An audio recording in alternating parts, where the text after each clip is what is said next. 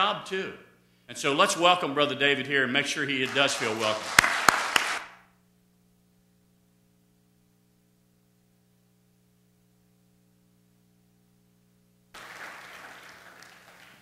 Thank you. And I do appreciate being here with uh, you this morning. I appreciate Brother Don and the invitation that he's extended uh, to me and my family. And uh, I appreciate that very much. His hospitality has been wonderful. Uh, Kim kind of elbowed me there while he was introducing me. She said, Who's he talking about? Uh, uh, my bride of 17 years. we grew up in this area, in this community, and went to college. And then I pastored in London for a little while and then moved back here, and we're glad to be back in, in home. And we, we love Rockcastle County. And I do appreciate this church and the stance that you took uh, in the wet dry vote and uh, helping uh, all of Rockcastle County. Um, I think that uh, along with your pastor, all of you supported it tremendously, and I, I loved being part of that because I felt like God was in it, and I was just glad to be able to be used by it. But I really do appreciate your support and your encouragement and also your support by being here this morning. Thank you very much. Revival is not about the evangelist, it's not about me, it's about you and your relationship with the Lord Jesus Christ. And I pray that you know Jesus Christ as your personal Savior, that you have entrusted your heart and your soul, your life to Him. And if you have not done so, if you are not absolutely 100% sure of that, then I hope that over the next few days, if not today, that you will come to know Him as Lord and Savior because it is the greatest decision you will ever make. You must make that. Uh, an indecision is not possible. You either say yes or you say no to the Lord Jesus. And so I pray today you say absolutely, positively yes. This is the one time that I have encouraged people to say yes to a, a vote. Now, it's been a while since I've said yes. I always want, as preachers, you're wanting to preach and to encourage them to accept what you challenge them to do. Well, over the wet dry vote, I was having to change my vocabulary a little bit to saying vote no or say no, you know, that kind of thing. So that kind of confused me a little bit. But I'm glad to be back here today to tell you to say yes to Jesus. If you have your Bible, would you open it to Exodus, the fourth chapter?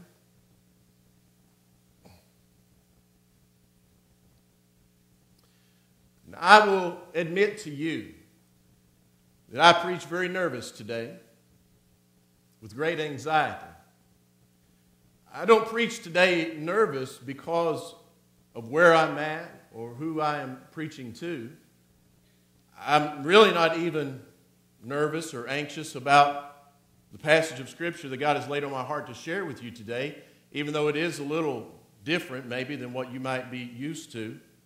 But my anxiety is to see what God is going to do as a result of this. This is a, a passage of Scripture that is going to challenge our, our very thoughts. It's going to challenge our, our very lives. I've looked at this passage of Scripture for many times, and this is one of those passages that, that just really captures me because there's so much about it that we really don't know. You know, I believe in God's Word that it is holy, infallible, it is inerrant, it is secure for all of eternity. You could burn up every Bible that's in the world, and God's word would still prevail and it would still continue. And God has chosen to place a unique passage of Scripture here for us. And it's challenging, it's unique, it's interesting, and it's one of those that sometimes we'll just pass on by. It's one of those that sometimes, if you are a, a, yearly Bible reader, and I hope that you are, maybe you read the Old Testament in a year and the New Testament in a year, maybe the whole Bible in a year. I hope you do that. You know how sometimes when we get to those difficult passages of Scripture and we just think, what's that talking about? And then we move on. Well, this is one of those that really just grabbed me and said, uh, God, I, and I asked God, what are, you, what are you trying to say here? And so I preach a passage of Scripture to you not that I have conquered what this passage is talking about, but because I, I come humbly before it and I say, God, I, I need help. And I think that if every one of us that are here today will listen to this and say, God, what are you speaking to me? I think all of us will understand, God, I need to improve in this area. The title of the message today is A Bloody Lesson in Obedience. In Exodus chapter 4, God writes this in verse number 24. At a lot, and I read from the English Standard Version Bible. At a lodging place on the way, the Lord met him and sought to put him to death. Then Zipporah took a flint and cut off her son's foreskin and touched Moses' feet with it and said, Surely you are a bridegroom of blood to me. So he let him alone. It was then that she said, A bridegroom of blood because of the circumcision. Would you pray with me? Heavenly Father, we, we come before you because we need help. We can't make it on our own in this world. We can't reach eternity with you by ourselves. Lord, we need your wisdom. We need your power. We need your majesty. Father, today we in this place need your presence. That God, you would guide us to the cross. That you would guide our hearts to meeting with you here this day. Lord, I pray for every person that is here. That God, you would speak to them personally and individually. Challenge them of where they are at this very moment and summons them to the place that they should be. Father, we pray your blessings on this word. May your word challenge us, move us, even shape us and mold us into what you would have us to be. I pray it in Jesus' name. Amen.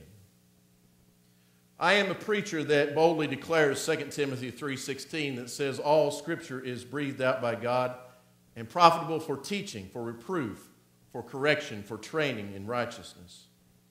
But what happens in those difficult passages of scripture? What do we do with those? I was reminded of a story of a, a girl in Sunday school class. She would read in Sunday school out of the Bible, as most Sunday schools do. And she would oftentimes get to those parts that are difficult to, to uh, say and some of the words that are difficult to pronounce. And as she would go across them, many times her, her teacher wouldn't recognize that she would get to that word and she would just say BHW and move right on. And so after two or three weeks of this young girl doing this, the teacher finally said, What are you saying? She said, Well, I'm saying BHW. She said, What is that? She said, That means big hard word. And probably most of us, we do the yearly Bible reading. We get to some of those and we BHW too. Uh, this passage of Scripture, I'll be honest with you, is a, a difficult passage to preach. It's even a difficult passage to understand. And maybe we as adults today would say TIDU. It's a text I, that's difficult to understand, or I don't understand. The text is from Exodus chapter 4. It's an interesting part of the Bible because this is sort of the inauguration of Moses' leadership with uh, uh, the exile.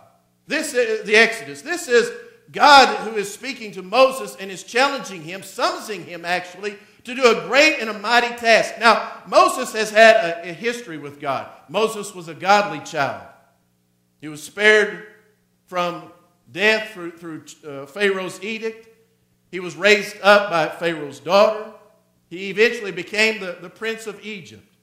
And one day, after uh, Moses got a little older, as a young man, he saw a, a young Hebrew who was being abused by an Egyptian. And out of anger, Moses goes and he kills this Egyptian. And so, fearing for his own life and fearing from uh, uh, the death of uh, Pharaoh, fearing that he would kill him, he decided it was time for me to flee. And so he runs out and he leaves. And he flees to Midian. The Midianites were descendants of Abraham through Keturah. And so as he was out there and, and wandering, he met up with a guy named Jethro. Jethro had a daughter. And out of that good relationship that Moses and Jethro had, Jethro gave over to Moses his daughter Zipporah. And out of that then came two children, Gershom and Eliezer. And those two children were of Moses and Zipporah. And now, as they enter in, and God comes to speak to Moses, and he comes to him to speak in a burning bush, and not one that is being consumed, of course, but one that God is speaking out to Moses and is saying to him, Listen, I've got a message for you. You've got to go back to Egypt. You've got to go back to Pharaoh, and you've got to tell him, Let my people go. He's calling and he's summoning Moses to do this very task. But you know where Moses is? He's in a place where, in all likelihood, he's forgotten all about Israel. Forty years has passed since this initial uh, leaving from, from uh, Egypt. Forty years has passed. Delivering God's people is probably just a, a distant memory. And then we have this passage of Scripture. It's one that almost fades into the pages if we're not careful. Before Moses can go and do this very task that God has set before him, to go out and tell Pharaoh, say, listen, let my people go, he has to do something. And he reads and he brings to him this event. Now, I'll challenge you today. Take Exodus 4 24 this probably isn't going to be a, a popular Father's Day passage. This isn't a passage of Scripture that probably we don't take our children to to do a devotional at night. This is a, this is a tough passage. But are we permitted and allowed to skip over these passages that we don't understand? Or maybe those that become inconvenient to us and, and untimely? You see, the one very truth that I understand about God is that God doesn't play to our comfortability rules. It's not God's method to plan out and say, all right, all I want you to do is just to be as comfortable as you possibly can. What we have here is that God spares this little child, gives him over to the to Moses and Zipporah. And out of this, Moses was supposed to circumcise his, his young son. And he didn't. And so what we have is God is meeting here with Moses and is going to kill Moses. This is the man, the very man that God has said, you know what, you're going back to Pharaoh and you're going to tell my people, let them go. And now uh, God has met with him and is just about to strike and to kill the very man that he is called to do this very task. And then we have this whole scene. Rather than killing Pharaoh, it's Moses' life who is in jeopardy. I agree, I understand that scholars divide on the issue as to who this he is that's going to be killed. Some say that it was Moses, some say that it was the child, but I believe that every every pronoun needs an antecedent noun. And so the son hasn't been named yet, and Moses has. Looks like to me, God's come to kill Moses. And then this interesting event occurs. Before I share with you three points that will help you to understand this passage, I want you to know that I understand who I'm talking to. I understand that there are many Christians that are here today, believers. And I understand that many of you hold positions within this church and probably have important roles within the community. This is a message for us. Moses is to be a leader, believers are to be leaders. You and your church here, as a deacon, as a trustee, as a Sunday school teacher, as an usher, as a secretary, as a treasurer, as a faithful member of this church, we have an obligation to obey God. This is the heart of the message right here. The humbling reality is this that the call to, call to Christ requires a commitment to obedience and to his blood covenant.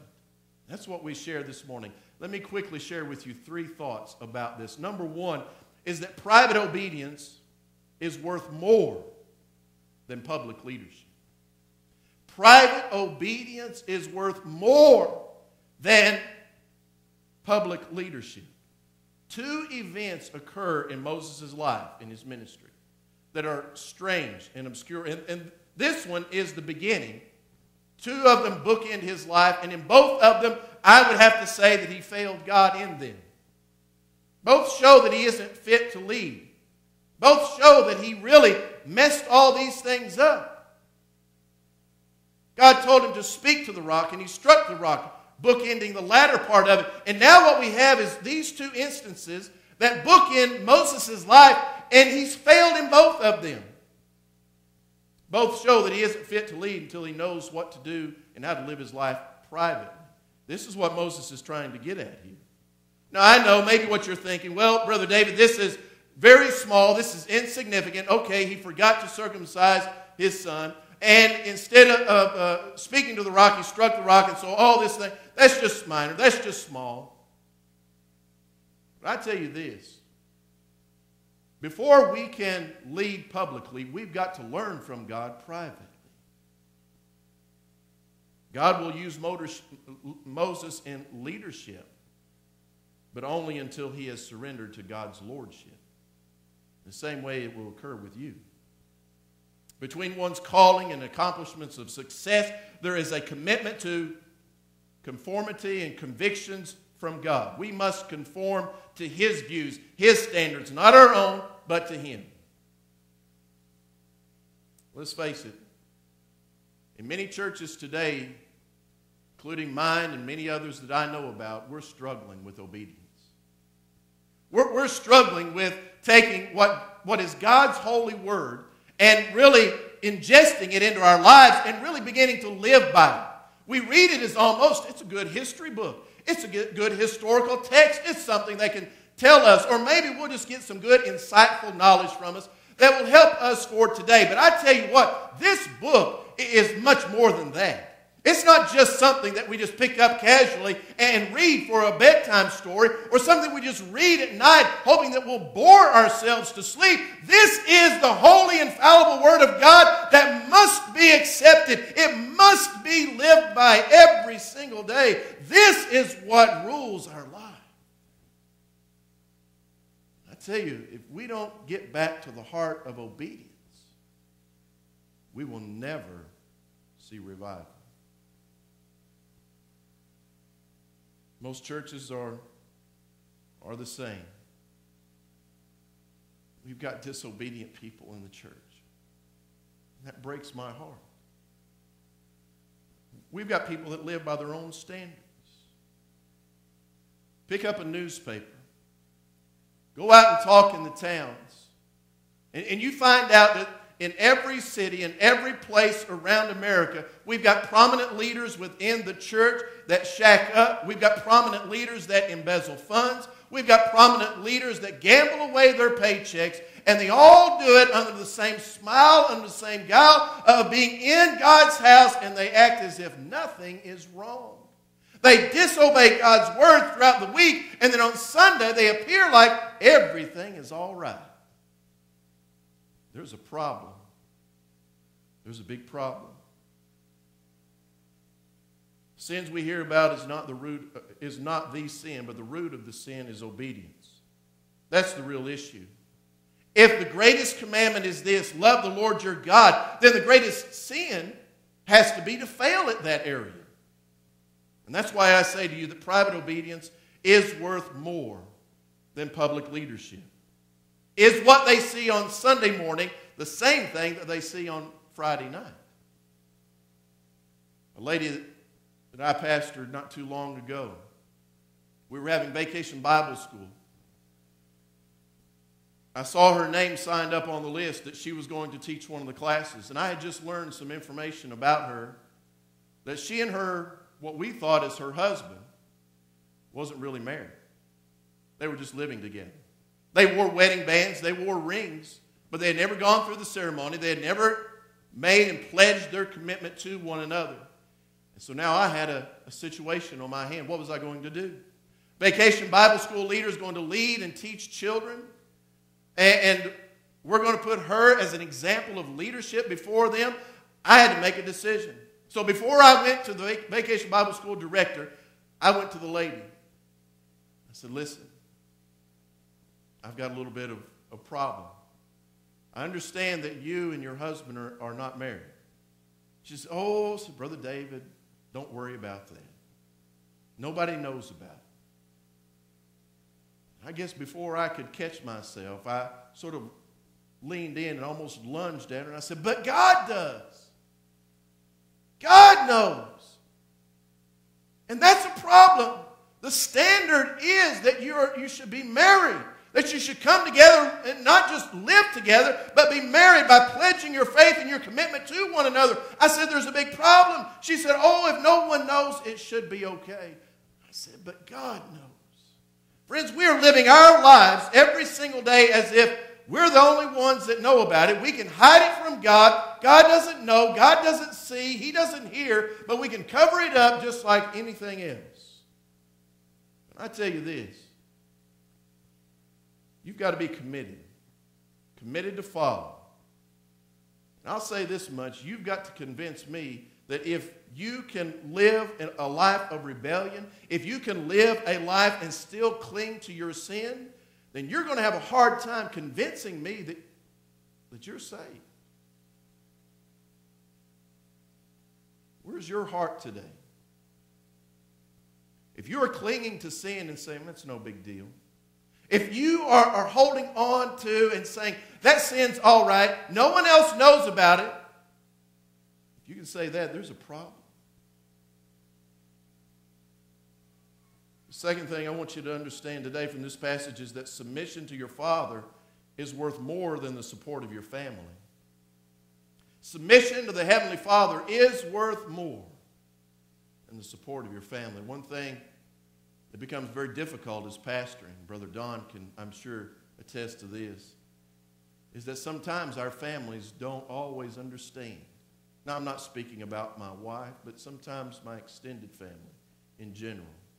They don't understand why you have to do the things you have to do. They don't understand why you have to say the things you have to say. But you notice one thing is interesting here is that Zipporah isn't really mentioned much by Moses. It's kind of strange that he doesn't mention his wife. I've been here five or ten minutes and I've already told you about my wife. Zipporah, I mean, excuse me, Moses writes an entire book and he doesn't mention his wife, but very, very little. But here's an interesting aspect about this she's angry with Moses, she's upset with Moses. Moses hasn't done something that he should have done. And now she comes to him and she's angry. She's actually bitter. Moses is getting ready to go out and, and to lead thousands and thousands of families. He's getting ready to go out and to lead them out of, of Egypt and lead them into the promised land, hopefully. And he's getting ready to do all of that, and he's still got some unfinished business at home. There are things that he's not taking care of at home that he ought to have done, and guess who's mad at him? This is a lot different than not taking out the trash, guys. This is a serious offense that Moses has done. And guess what? Zipporah knows about it. Now, how we know that Zipporah knew this? It's hard to say. But God meets there and he's about to kill Moses, and Zipporah realizes, she understands, she knows, maybe it's womanly intuition, I don't know. But she knows something, something bad is about to happen, and she knows why. And rather than go and submit to her husband and say, listen, we need to care for this, we need to do this, what does she do? She goes over and she takes care of the problem and circumcises the young child. She throws then the skin at his feet and says, You're a, you're a bloody husband to me. At this point, from this point forward, we, we hear very, very little about Zipporah. We're told in chapter 18 that Moses sent her and the boys back to Midian. And then we don't they don't show back up until after the Exodus when Jethro brings them back. And then from that point on, her name is not written again. Submission to the Father and obedience to Him will mark you as a believer. The harsh reality is that when you are a believer in the Lord Jesus Christ, you are called to do some very unpopular things. Sometimes your spouse may not understand them. Sometimes your family may not understand them. Sometimes even your, your children will not understand them. But I tell you, there cannot be a more helpful, a more beneficial thing in your life than to have husband and wife both working and serving and loving the Lord Jesus Christ, having devotions together, praying together, seeking one another's help and support. One of the greatest things that you can have in this life is to have a loving and a devoted spouse that encourages you in your ministry, that helps your ministry. I tell you this one very thing as a believer in the Lord Jesus Christ, if you have a husband or you have a wife that loves the Lord, then you tell them, Thank you for loving Jesus. Thank you for loving Jesus. Husbands, let me ask you this. As, as the leader of your home, is submission to the Father important to you? Let's not forget that submission is not for just the wife. Submission is to the husband. He submits to the father. And I, I know it may not be politically correct to speak about ladies submitting to their husbands, but don't get too caught up in that. Husbands, we've got a, a responsibility to our wives to care for them and to love to them. Submission to them is just saying, All right, I'll, I'll let you take care of me. It's a beautiful relationship. It's a wonderful thing that God put together. Someone once said that uh, what God means by the woman submitting to the husband is that she ducks when God hits. I don't know. You can just dissect that the way you want. But realize that submission to the Father is worth more than the support of your family. Sometimes it's difficult, but it has to be done. Probably most of us understand and know that seatbelts are a little bit of a hassle. They're a little bit of a nuisance. Um, maybe you bother to buckle up, or maybe you don't. I hope you do. But it's a problem that uh, our communities face, getting people to buckle up, to buckle their seatbelts. One gentleman by the name of uh, Ivan Sagedin, he took it to extreme. He had been arrested, not arrested, but he had been ticketed 32 times 32 times for not wearing his seatbelt. Cost him a lot of money. And so, you know what Ivan decided to do? Rather than to start buckling up after that 30 second ticket, what he decided to do was to go home and to fashion himself a, a device that he could hang over his shoulder that looked like he was buckled in. Went through all the problems of making sure that he could get that harness around, make it look like so that when a cop passed by, and, and drove by or saw him in the car, looks like he was wearing a seatbelt. Went through all of that. Well, things went well. He didn't get any more tickets. The problem was he was in a head on collision and he died. Here's what the coroner wrote. Though his car was fitted with seatbelts, an extra belt with a long strap had been knotted above the seatbelt on the driver's side, providing a belt to simply sit over the driver's shoulder. You know what? Maybe obeying God is a hassle to you. Maybe obeying God is a nuisance to you. And probably what you're doing is just trying to fashion something on the outside to make sure that everyone that passes by thinks that guy's okay. That gal's in good shape with the Lord. Nothing's wrong with their life. Everything looks good on the outside. Wonder how many are in here today that are living a life fashioning good works, good deeds, trying to cover up the real root of our heart, which is a disobedient heart to God. Get your life in order today. It's time to make plans to get, get right with Jesus. Obedience to God is worth more than your family's praise. It is worth more than your pastor's praise. It is worth more than anything you could get from the outside. When you get praise from the Heavenly Father, it's greater than anything else you could ever get. The third thing that this passage teaches us is that the mark of death is necessary for eternal life. Circumcision is the original sign of a blood covenant between God and his people. And now this child has been put under this blood covenant. Very nasty and ugly scene, God's covenant agreement is passed on to this child. You see, the world doesn't like the idea of blood. I understand that. I'm involved in that every day of my life. The world doesn't understand what it is to be to, to have sacrifice, to make sacrifice, to have to require a, a sacrifice. Many will say, You mean there is a God that requires a, a blood sacrifice? The whole idea is repulsive to the world.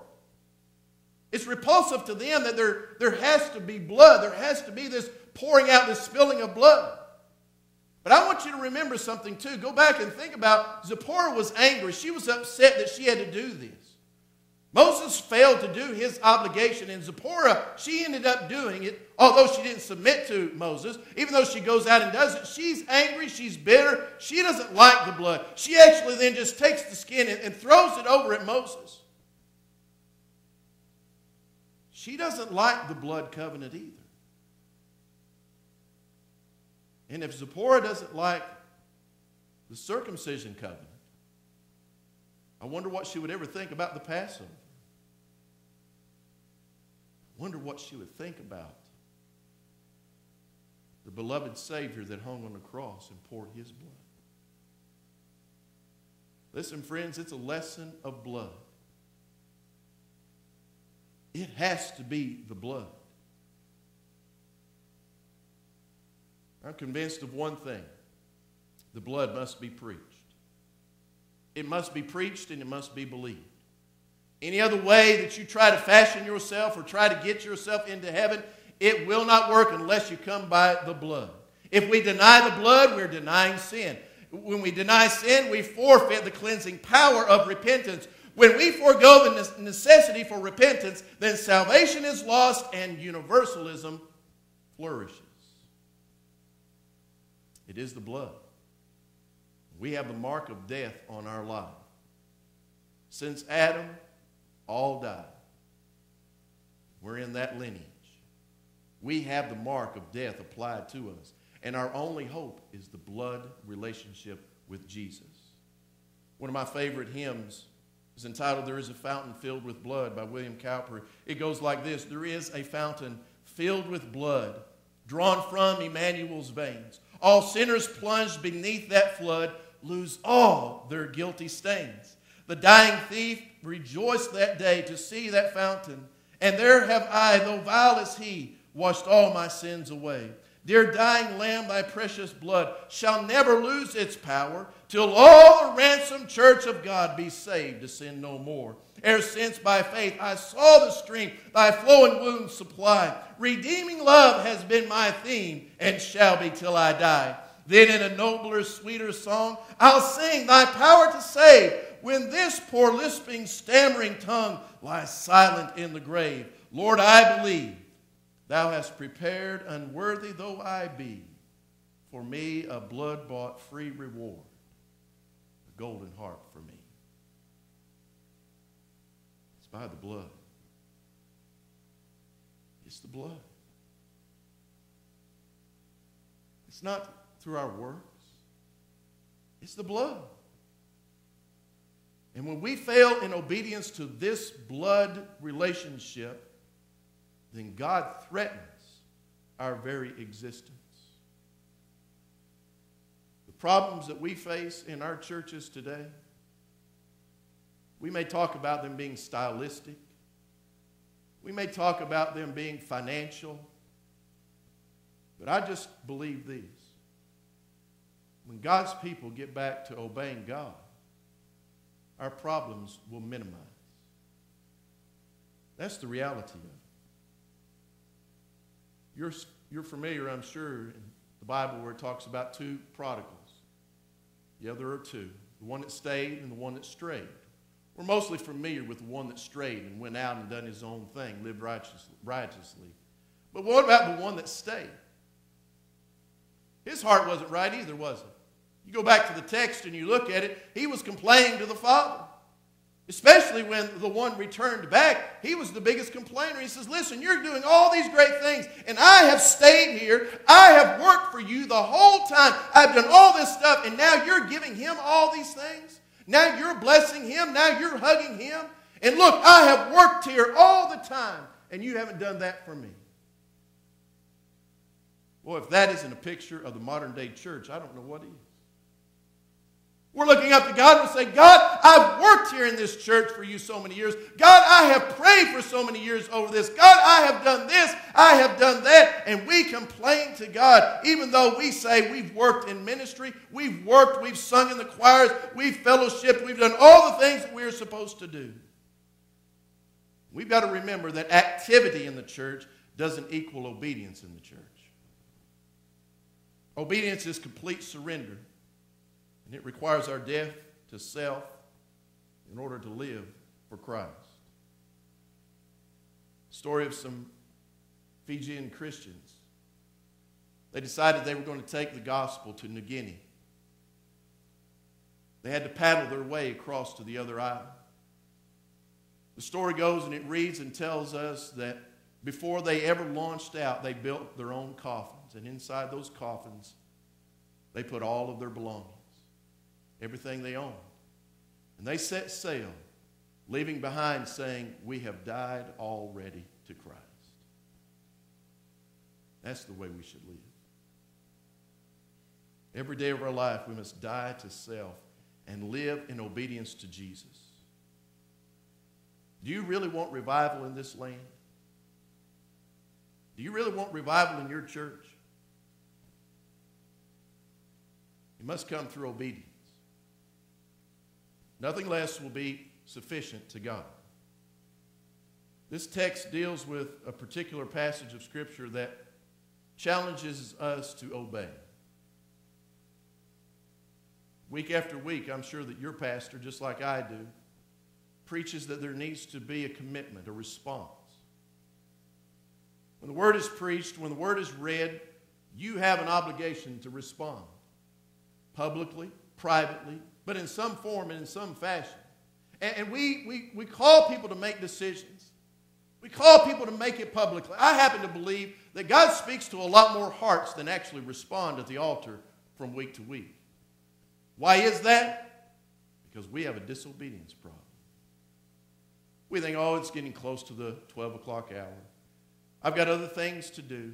Nobody wants to stay. Listen, people want to stay. God's, when God's people start pouring their hearts out and obeying God, things are going to happen. When we start obeying, nobody's going to want, worry about what time it is on the clock. Nobody's going to worry about what's going on afterwards. Living, we're, li- we're, we're living in a generation to where we are losing the understanding of what real revival is.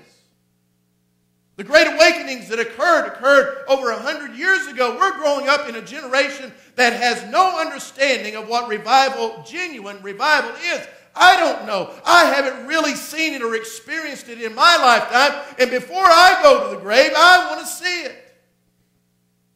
The only way to do that is we've got to get in obedience to God. Just last Saturday, May the 12th, a 43 year old woman was walking on along the beach in San Clemente Beach, California, in Southern California. She was walking along, her children, like most of us do, uh, they have children, they go out and they pick up little rocks and seashells and those kind of things. And these girls were, this, uh, the children were doing that, and they brought them back to mom. Mom puts the rocks in her pocket, goes back to the hotel room. She's standing in the kitchen, and all of a sudden, her, her pants catch on fire. Spontaneous combustion is what they claimed it to be. I, I did some research and come to find out pistachio nuts can spontaneously combust. I didn't know that, but if you've got them in your kitchen, you may want to check them a little bit.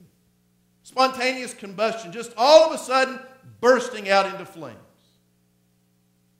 The sad part is, is that there are probably a lot of people, and maybe some of you here, that think that's the way that revival is going to occur. It's just going to spontaneously combust without doing anything, without having anything done. Do I agree? Do I understand that God can do and choose to do anything He wants to at any time He wants to with anyone that He wants to? Yes, I surrender to that. But I also say that God's Word says, if my people will do these things, there must be a level of obedience before we can experience genuine revival.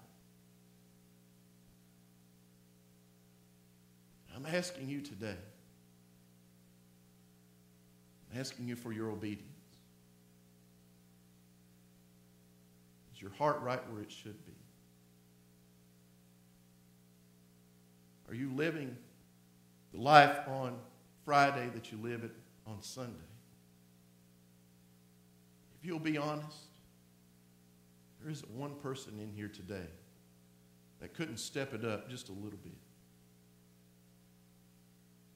We'll see who really wants to obey God in just a moment. If you want revival to occur, it's going to require a lesson in obedience. That obedience comes to this point right now, at this altar, in prayer, by yourself, your husband or your wife, maybe even your family, maybe with one of your pastors. Maybe there's a level of forgiveness that you need to, to seek from God that you haven't. You've been hiding it. It's time to get right with Jesus. Let's obey God. In this very moment, let's obey Him. Would you pray with me?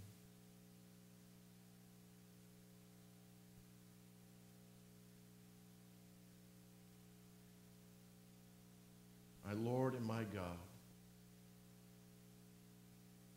Oh, dear Lord, would you forgive us of our trespasses and our sins?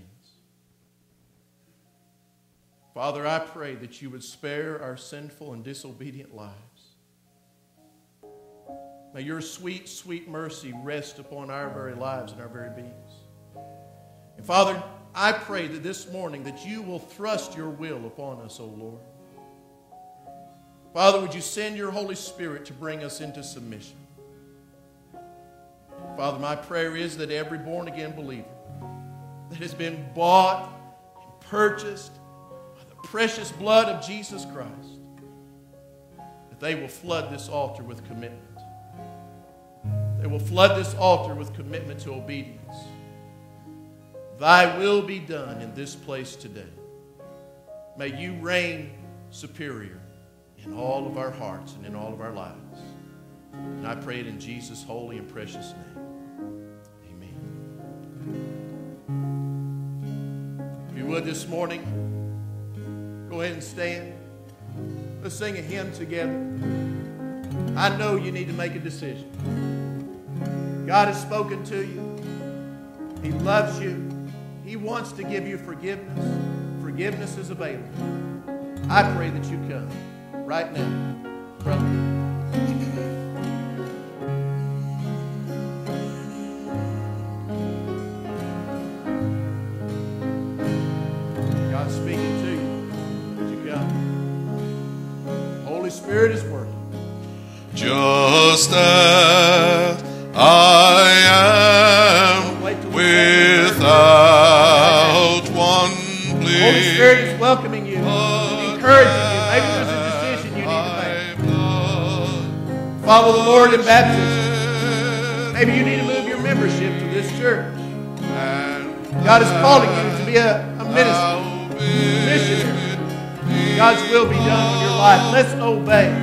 We want revival, it must occur through obedience. Obedience to Him.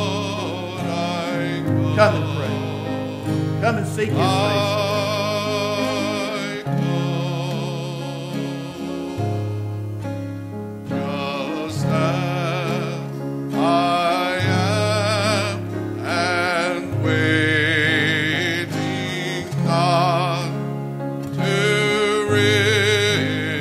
The Spirit do His work in your heart, and then you do your job. You've got to do your part. I know you can sit back and you can say, you know what?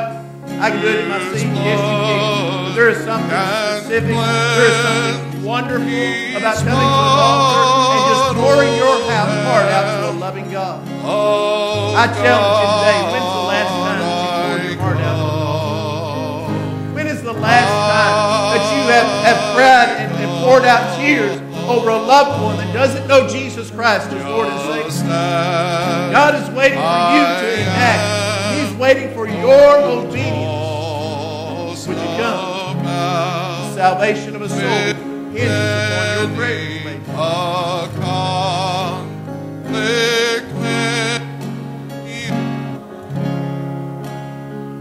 baby. Right in your heart today.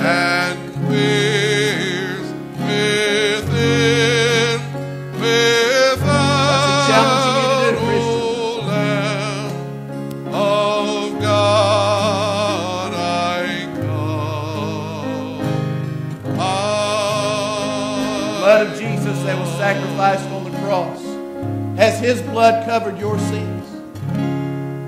Has the blood of Jesus been applied to your life? I know it's not popular. I know it's not something that's common for us to talk about. But the reality is absolutely this the blood must be applied. Not a superficial covering, not just something that we can tack on, take on, and take off from time to time. But the blood of Christ must have been applied to your life. Has it been applied? If you don't know Jesus as your Savior, that blood has never been applied, then you do it on this verse. The greatest decision you will ever make. Come to know it, young and old. God has spoken to your heart,